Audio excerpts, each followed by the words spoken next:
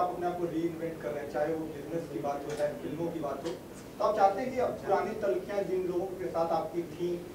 सम्मान आजकल शाहरुख के साथ भी पैदल कर तो आप चाहते हैं कि वो लोग भी आपका सपोर्ट करें आपके री में नए जो आपका नया career thank you so much chairs